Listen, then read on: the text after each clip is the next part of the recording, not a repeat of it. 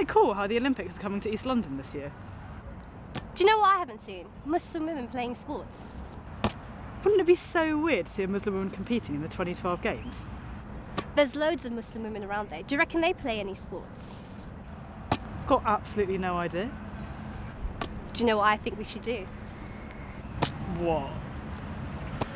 I think we should go find out and make a film about it. Yeah, yeah, okay. Tell you what, you get the camera, I'll get the volunteers.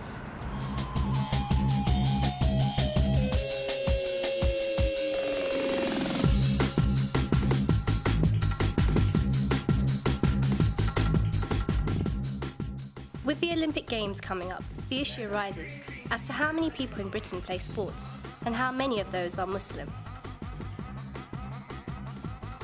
Women first competed in the Olympics in Paris in 1900. 11 women competed in lawn tennis and golf. In the last 100 years, women have become gradually more involved in recreational sport. The Olympics were last in London in 1948. So much has changed for women in sports since that time. In 1948, only 10% of competing athletes were women. By 2008, this figure increased to 42%, a huge change, and Bahrainian Ruqayya Al Qasara became the first athlete to wear a hijab in the Olympics. Since 1948, there have been several waves of Muslim migration into Britain from the Middle East, Africa, and South Asia. Muslim women are figures of mystery amongst the British public and press. The idea of them playing sports prompts even more questions. Are they allowed?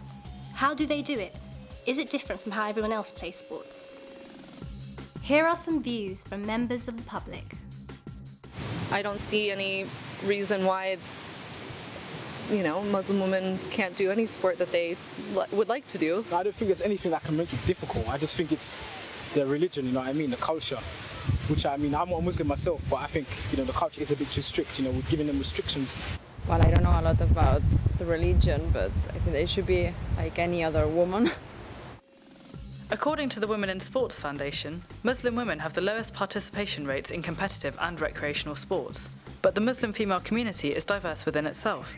We have a range of different beliefs, cultural practices, dress codes, and traditions. We interviewed people who highlighted this diversity.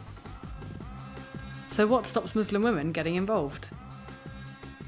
growing up, my I mean both my parents never into sports or nothing kind of like that. Typical kind of Asian stereotype of you know fried breakfasts and um, no more exercise than maybe walking around the block every week or something.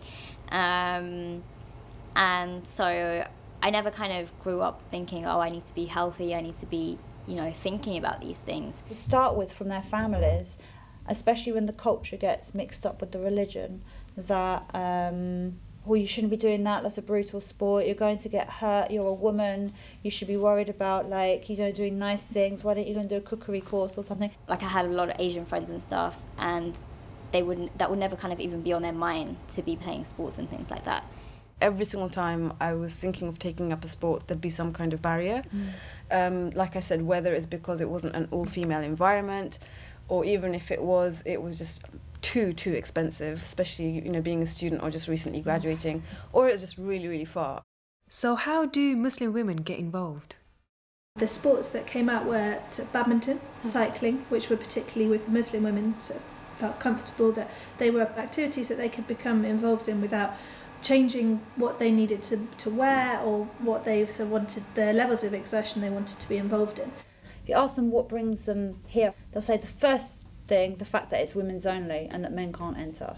Secondly, the group of people that are training, because everybody's got the same mentality. They're not here because they want to learn to beat people up. They're here for, all for different reasons, but all with a similar goal. So whether it's that they just want to learn a new sport, uh, whether it's they want weight loss, health issues, people are doing it to try and prevent diabetes or reduce cholesterol levels or high blood pressure, people who have been victims of attacks, violence, um, abuse, different, all different stuff that are wanting to build their confidence. If your body's healthier, then your mind is also healthier. So it's the kind of idea that, um, like, your energy levels are so like they're channeled in much in a much more productive way. What facilities are there for Muslim women?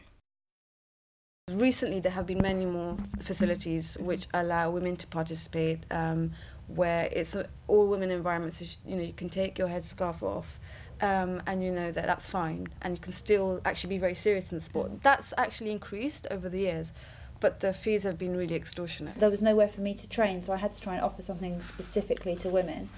Um, so me and my husband sat down. We decided to split our classes completely and run women's only and men's only. My company has a big emphasis on health in the workplace, um, so they give us kind of free access to gym every lunchtime between 12 and 2 you won't see anyone in the office. A beginner's course was starting mm-hmm. up. It was taught by a female instructor who was like a champion in her field. She had won loads of awards. Um, it was an all female um, class. Mm-hmm. and they said that you know um, privacy was really respected so you know you didn't have to worry um, you know going and not wearing your hijab the cost was actually very affordable and they were really um, understanding of people that you know might not be able to pay the full fees. Is clothing really an issue? They should take part in sport, but um, they need to also make sure they know that as a Muslim they have a certain way, like they have to behave in a certain way. They can't just dress immodestly. Mm. You know, they can play, but they should know their responsibilities at the same time. A lot of people find that when they start wearing a headscarf for the first time, they feel as if the world is viewing them as a kind of walking headscarf, that nothing else of them is visible. And so they have to do a lot of kind of extra work to kind of show that yes, but that doesn't mean to say I can't speak English. That doesn't mean to say I'm not modern. That doesn't mean to say I don't think, read, and you know I'm like you too, kind of thing. So I think uh, there's a lot of interest amongst young Muslims in finding ways of being Muslim and modern in the contemporary world in most circumstances, you can go in with your hijab, you can go in with loose clothes, um, and you can do anything in the gym that anybody else would be doing. Um, and I think people, especially in London, where there's so many different cultures and everything, no one's going to be like looking and seeing, oh, there's a Muslim woman in the gym. And I think it's quite sad that I haven't seen a Muslim woman in my gym living in London. I got very interested in in, in these garments uh, that were, uh, this is a capster that's been made by, by uh, a designer in Holland called Cindy van den Bremen.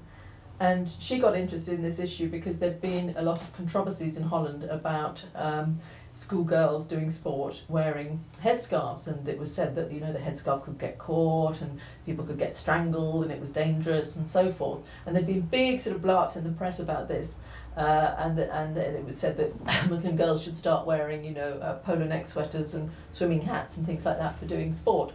And and and Cindy van den Bremen was a designer from a secular, non-religious kind of background, but she just felt it was ridiculous the amount of fuss that was being made, uh, and this was being made in such an issue.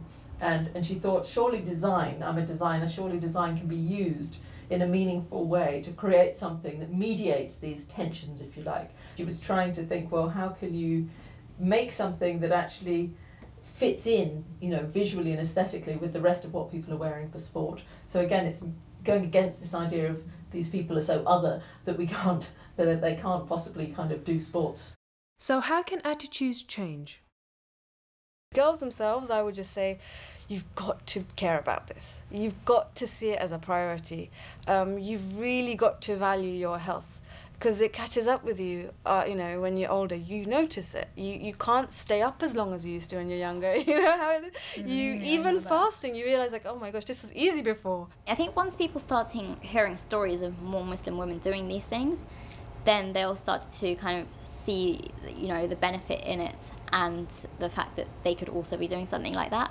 In the last few years, people have developed what's become known in the press as the burkini, which is a type of Islamic swimwear which covers the body so that only the hands and face are exposed. It's nice if that doesn't become prescriptive, that, that Muslim women should feel that they have to cover then everything if they want to go swimming. But, but to have it as an option, I think is a very good idea unfortunately there are cultural stereotypes mm. And some people might be really happy for some people in the family to be doing mm. sports but maybe not for their young girls and i'm not judging everyone they're not all like that but where that exists they need to be politely and in a compassionate way made to realize that there's, there's no harm in it mm. and they will only be made to feel like that if the facilities are provided where actually girls can go and enjoy sports where that their values are not compromised. There should be like a, like a Muslim role model out there, and we don't see many of like that. And you know the media, obviously they're not gonna uh, suddenly say, "Oh look, there's a Muslim girl." Oh wow, they always negatively stereotype us. So it would be nice to see more Muslim in the media. Hey guys. You alright? How's it going? Yeah, all right, thanks. We're just exhausted from all that filming we were doing. Yeah, it has taken ages. I know, right? But I'm quite surprised about all the things we found out. Yeah, like how there are actually Muslim women out there who play sports. And quite a variety. Yeah, I think it's due down to all the facilities that have been available for them. Let's not forget about clothing. The burkini means we can go swimming like everyone else. Hmm. I do think cultural perceptions of women have held us back in the past, but I reckon that's well on its way to changing. Yeah, all the women that I interviewed, they were all like every other women, but they're just trying to fit in sports into their everyday life. Yeah. When it comes down to it, it's just about finding the time, money, and the right location. Hopefully, the Olympics can change that and make sports and more facilities available for us. Hmm. I still think it's going to be a while though before sports actually becomes a common profession for Muslim women in hijab. Yeah. After all that, guys, look, we're in a park, it's a sunny day, we have time. How about a kickabout? Don't really have the right shoes on, sorry. Oh.